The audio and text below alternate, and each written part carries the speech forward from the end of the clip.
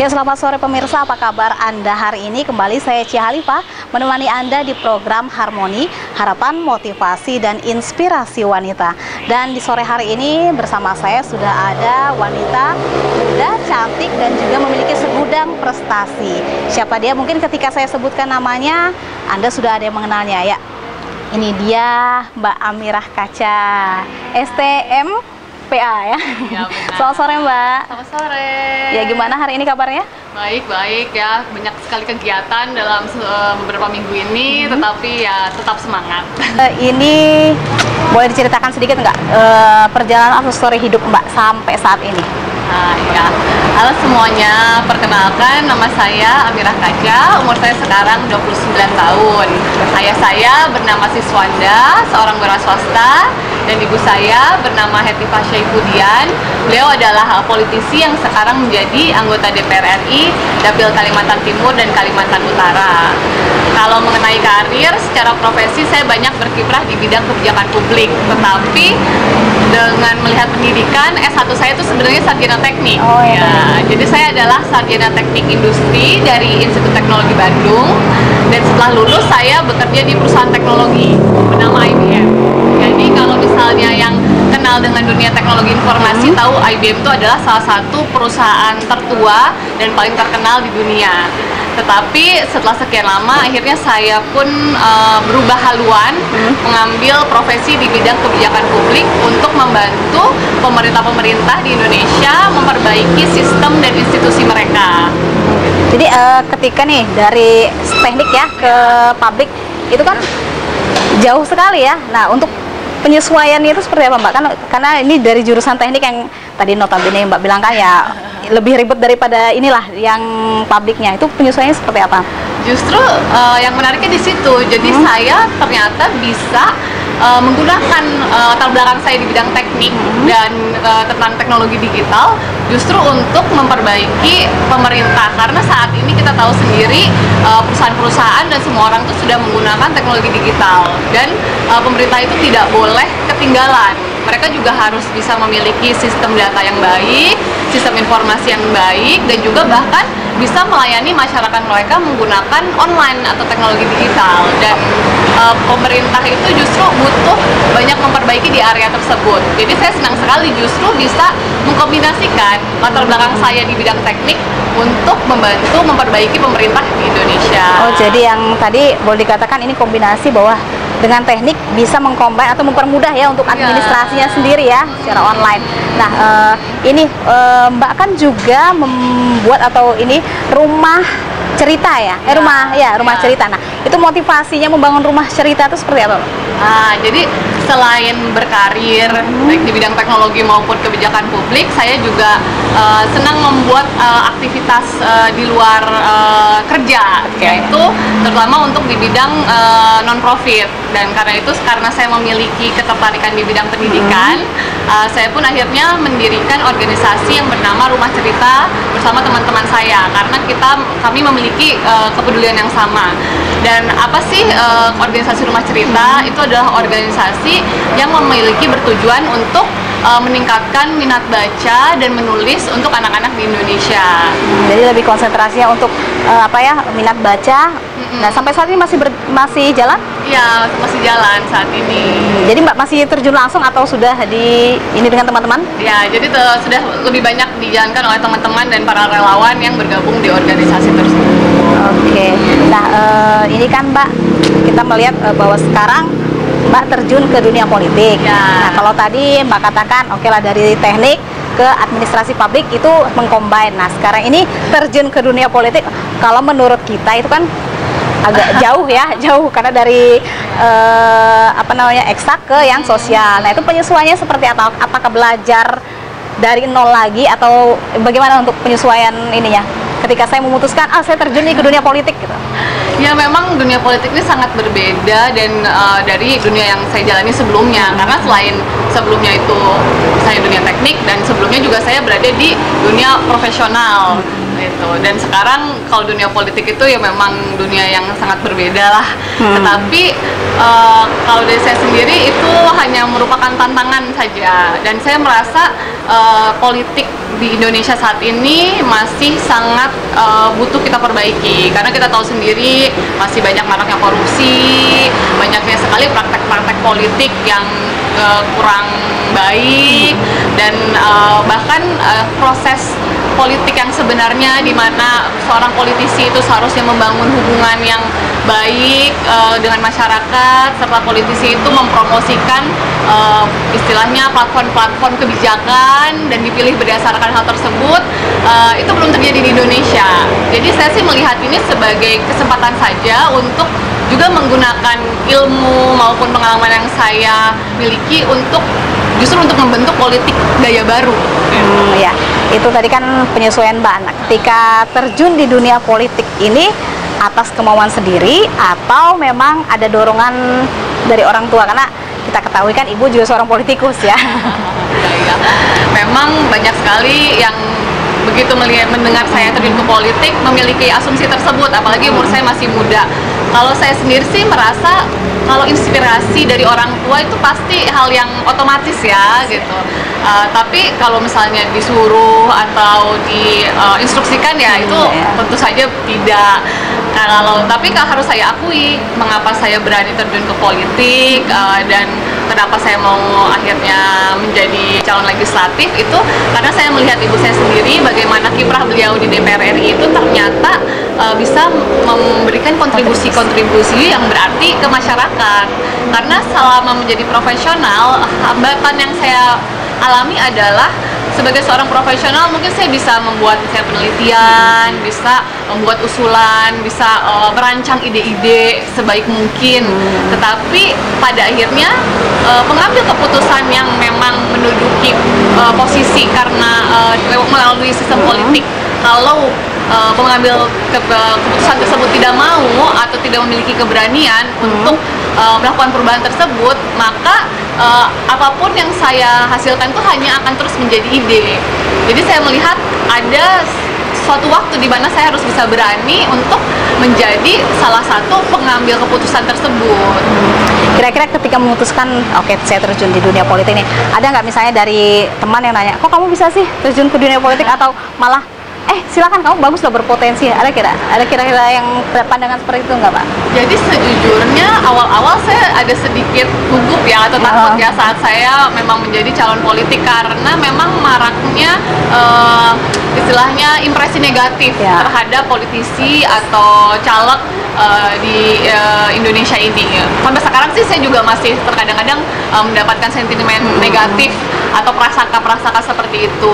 Tetapi ternyata justru banyak yang suportif dan itu memberikan saya eh, benar apa ya kekuatan dan semangat. Jadi ternyata teman-teman yang selama ini saya kenal eh, itu mereka selama ini selalu berkata pada saya wah eh, saya sangat senang bisa melihat seseorang yang muda dan memang memiliki eh, pengalaman yang sebenarnya sangat eh, relevan terhadap eh, politik dan uh, perbaikan sistem pemerintahan di Indonesia untuk bisa menjadi uh, politisi.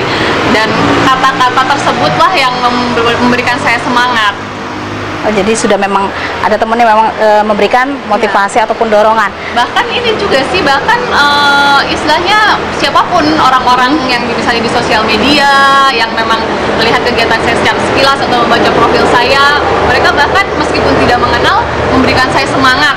Dan um, memberi apa ya menyatakan bahwa mereka mempercayai saya. Dan itu benar-benar menyentuh hati saya dan memberikan uh, semangat yang lebih lah. Ya support dari orang yang memang tidak mengenal kita. Itu justru lebih lebih apa ya memberikan rasa ke- kepercayaan diri yang Iya, tinggi ya. iya. Nah ya kan mbak sekarang ini kan lagi tren nih muda eh, terjun ke dunia politik. Hmm. Entah eh, bagaimana cara mbak untuk memberikan saya apa memberikan kepercayaan kepada misalnya nanti masyarakat bahwa saya muda tapi saya juga mampu gitu. Seperti apa? Ya, ya. Memang banyak yang melihat karena umur saya muda, dikiranya saya belum memiliki pengalaman. Padahal Ya. kalau saya hitung-hitung saya sudah memiliki pengalaman kerja ya 8 tahun di bidang yang sangat uh, relevan uh, dengan uh, sistem pemerintahan dan politik. Selain itu saya juga sudah memiliki S2 di bidang kebijakan dan administrasi publik. Tetapi banyak juga uh, misalnya orang-orang yang belum sadar bahwa sebenarnya di Indonesia sekarang itu banyak sekali kreasi-kreasi muda yang sudah terbukti misalnya saja banyak sekali perusahaan-perusahaan yang namanya sekarang startup seperti Gojek, eh, Tokopedia, Bukalapak itu sebenarnya diciptakan oleh anak-anak muda gitu. Jadi sebenarnya anak-anak muda ini memiliki kemampuan yang lebih karena mereka eh, berani mengambil ide-ide baru atau justru mereka menciptakan ide-ide baru karena justru tidak terpakem dengan tradisi yang biasanya tetapi memang harus saya akui eh, muda itu eh, yang baik itu bukanlah hanya secara umur tetapi muda itu adalah eh, visioner muda itu tuh berani melakukan perubahan muda itu eh, berani mencoba hal-hal yang baru untuk melakukan perbaikan Ya berarti eh, bisa dikatakan muda tapi juga memiliki sumber daya manusia yang kualitasnya tinggi ya. Ya. Jadi bisa ya apa namanya menampung segala aspirasi masyarakat. Eh, berbicara seperti ini Mbak, kan Mbak muda, oke eh, wanita. Sebagaimana kita ketahui kan eh, anggota legislatif yang duduk di parlemen itu kan kalau wanita bisa dihitung ya kan. Ya, sangat sedikit. ya sangat sedikit. Nah ini kan sebenarnya eh, lebih cenderung ke laki-laki. Ini kalau menurut pandangan Mbak hal apa sih yang eh, menjadi permasalahan kok sedikit perempuan-perempuan yang ingin maju sebagai anggota legislatif ataupun ya terjun ke dunia politik? ya ya Karena kan seba- eh, apa kalau untuk saat ini nih Mbak paling cuma mengisi kuota apa eh, Ya, ya, kuota ya. saja kan supaya bisa ini. Nah menurut pandangan Mbak seperti apa? Jadi memang eh, terkait representasi wanita di politik ini tuh memang masalah yang cukup kompleks ya dan sebenarnya bukan hanya Indonesia saja yang menghadapi hal tersebut. Bahkan negara-negara maju seperti Amerika pun masih memiliki representasi perempuan yang cukup rendah. Padahal kalau kita lihat sebenarnya kan kita ingin memiliki representasi di dewan itu seperti layaknya masyarakat kita dan populasi perempuan kan hampir setengah Ya, lah kurang lebih ya populasi dunia maupun populasi di Indonesia yang kurang lebih hampir setengah. Berarti seharusnya kita bisa juga memiliki representasi wanita kurang lebih hampir sama dengan persentase di populasi. Dan bahkan sekarang pun meskipun dengan kuota kandidat sebesar 30% untuk perempuan eh, di DPR RI itu sekarang mungkin sekitar eh, nggak sampai 20% lah Iya. yang eh, perempuan yang menjadi anggota DPR RI. Hal itu berarti menunjukkan bahwa jumlah anggota DPR RI di parlemen itu jauh lebih sedikit dibandingkan bahkan jumlah kandidat perempuan. Jadi ini menunjukkan perempuan istilahnya probabilitas dia untuk menjadi menang uh, pemilu itu berarti lebih rendah daripada laki-laki. Dan memang ada banyak sekali uh, alasan yang mungkin bisa menjelaskan hal tersebut seperti misalnya tradisi karena kita uh, tahu sendiri uh, biasa eh, biasanya ranah publik itu atau ranah politik itu biasanya dikaitkan dengan laki-laki dengan uh, kalau perempuan itu memang biasanya dikaitkan dengan uh, misalnya menjadi ibu rumah tangga, merawat anak, atau kalau misalnya bekerja juga untuk profesi-profesi seperti perawat atau, atau guru, dan untuk melihat pemimpin wanita itu mungkin masih secara tradisi masih banyak yang Hmm, masih kurang percaya. familiar dan kurang percaya. Gitu. Padahal perempuan memiliki kapabilitas yang sama dengan laki-laki. Banyak sekali perempuan-perempuan hebat yang bisa menjalankan tugas sebagai politisi dengan baik. Dan mungkin ada beberapa aspek di mana perempuan bisa jadi lebih baik karena misalnya perempuan lebih misalnya sensitif, lebih memiliki empati dan itu bisa malah bisa menjadi kekuatan saat menjadi eh, seorang politisi. Ya kembali nih Mbak kita bahas eh, terjun ke dunia politik ya karena bagi sebagian orang mungkin eh, dunia politik itu sangat apa yang menyeramkan gitu nah kan karena Ya, ya. dengan segudang apa eh, ya otomatis juga sebab akibatnya. Nah Mbak melihat eh, image itu seperti apa? Karena kan otomatis ketika eh, Mbak oke saya ini menjadi politikus yang eh, bisa menampung segala aspirasi dengan mungkin yang berbeda dengan ingin memberikan pemikiran bahwa masyarakat tidak semua politikus itu seperti itu. Iya, Jadi iya. ketika untuk diri Mbak sendiri eh, meyakinkan masyarakat. itu memang merupakan tantangan yang sangat besar ya karena memang sistem politik yang sudah terbangun sekarang adalah kebanyakan tuh istilahnya melihat dari sisi imbalan material yang Iya. langsung Mhm. gitu dan eh, ya ini cukup disayangkan karena mungkin banyak eh, masyarakat yang tidak eh, istilahnya mereka tidak menyadari kalau sistem politik yang seperti itu justru malah eh, menghasilkan istilahnya eh, anggota dewan yang misalnya harus eh, kalau misalnya nih contohnya eh, eh, politik uang Ya. dengan masyarakat mengharapkan imbalan langsung dari anggota dewan misalnya itu berarti anggota dewan saat dia bertugas menjadi eh, anggota dewan dia harus mencoba mengembalikan modal tersebut. Dan itu pasti diambil dari eh, dana-dana publik yang seharusnya itu mem- misalnya membiayai perbaikan sekolah, jalan atau puskesmas atau yang berasal dari uang pajak mereka. Dan karena di Indonesia istilahnya korupsi tingkat korupsinya masih sangat tinggi nah ini bisa menjadi evaluasi kenapa eh, sistem politik kita tuh menciptakan eh, hal yang seperti ini. Tetapi eh, bisa jadi kita- kalau kita lihat juga sudah mulai banyak sekali ya pemimpin-pemimpin politik di Indonesia yang reformis mereka memberikan istilahnya eh, apa ya energi positif dan mereka eh, mengajak masyarakat juga untuk eh, berpikir bersama terkait bagaimana membangun, bagaimana program-program yang dibutuhkan dan bukan hanya ya imbalan materi eh, semata. Ya kita tidak akan pernah tahu ya kapan masyarakat siap karena pada akhirnya juga demokrasi itu adalah cerminan dari masyarakat gitu. Tapi kalau dari saya sendiri eh, ingin mencoba menjadi salah satu pilihan yang berbeda. Jadi untuk eh, masyarakat yang memang mencari calon yang mungkin lebih berorientasi terhadap eh, eh, istilahnya eh, platform eh, kebijakan dan juga eh, mau mencari eh, calon yang misalnya terkait dari uh, soal pengalaman yang mereka rasa pengalamannya tepat uh, ya saya, saya- semoga saya bisa menjadi uh, pilihan yang berbeda atau yang baru bagi pemilih-pemilih tersebut. Iya, karena tahun ini memang 2019 itu bis- bisa dikatakan mungkin tahun politik yang paling bersejarah ya bagi Indonesia karena Ya. milihnya dari DPRD, kota, provinsi sampai legislatif ya, sampai Ya. pileg. Nah, ini Mbak ini kan langsung DPR ya, DPR Ya, pusat. DPR. Nah, ini kalau tadi apa namanya eh, langsung di pusat itu memunculkan keberanian bahwa saya ini mewakili satu provinsi. Nah, itu seperti apa Mbak? Memang wah, itu membuat saya ini ini merupakan tugas yang sangat berat ya Ya. karena merepresentasikan satu provinsi di Senayan. Tetapi kalau saya sendiri memiliki kepercayaan diri karena eh, selama ini pekerjaan saya banyak juga eh, berkaitan dengan pemerintah pusat. Jadi saya sangat eh, familiar dengan misalnya program-program dengan bagaimana sistem pemerintah pusat bekerja, juga eh, dengan istilahnya jaringan-jaringan atau network pemerintah pusat yang bisa saya manfaatkan saya saat bertugas nanti.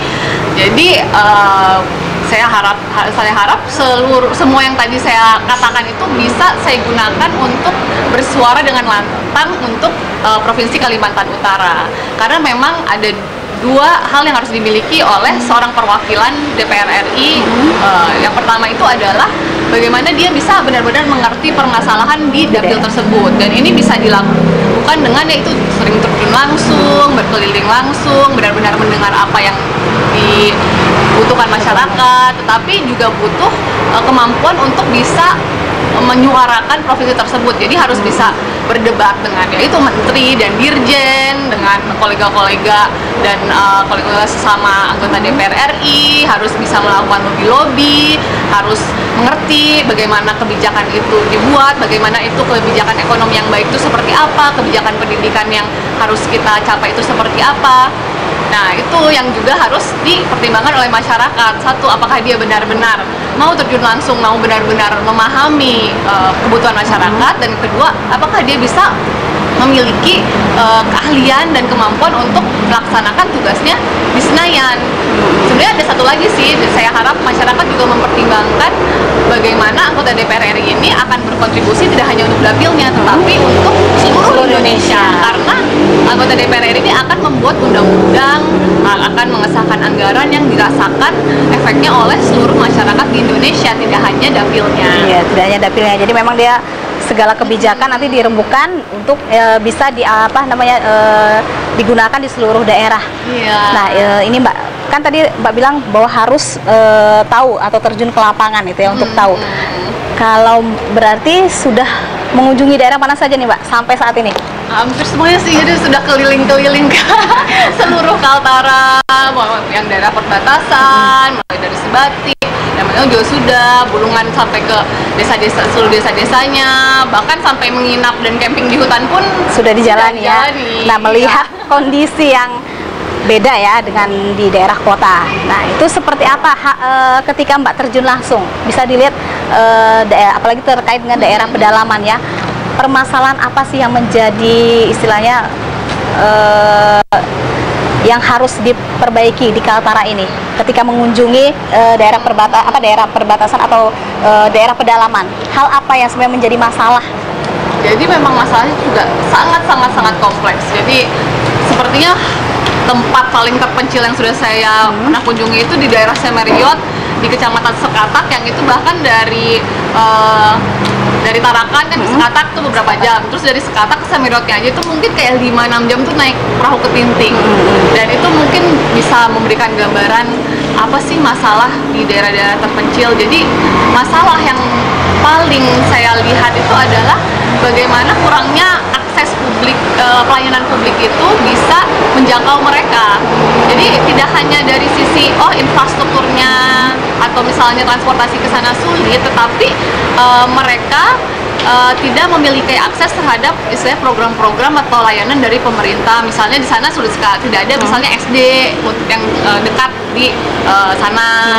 Atau misalnya untuk puskesmas juga mereka makanya sulit untuk dijangkau. Dan yang paling penting juga bahkan mereka tuh tidak memiliki KTP banyak sekali tidak memiliki KTP dan ini menjadi menyedihkan karena tanpa KTP mereka tidak akan bisa mendapatkan eh, program-program dari pemerintah seperti misalnya program keluarga harapan atau untuk mendaftarkan anaknya ke sekolah mereka tidak bisa mendapatkan misalnya eh, program Indonesia Pintar gitu. mereka juga tidak bisa memiliki BPJS kesehatan tanpa KTP, KTP.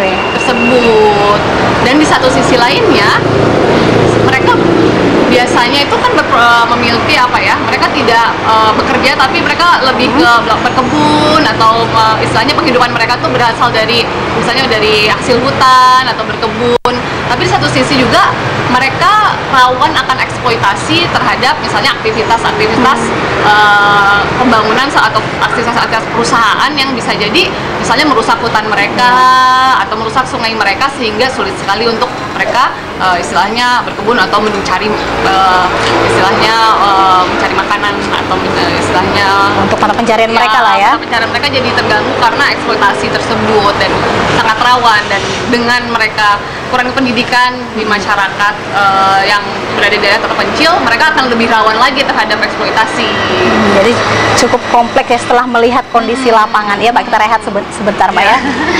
Ya pemirsa, TVku tetaplah di Harmoni Harapan Motivasi dan Inspirasi Wanita. Kami akan kembali setelah jeda pariwara berikut.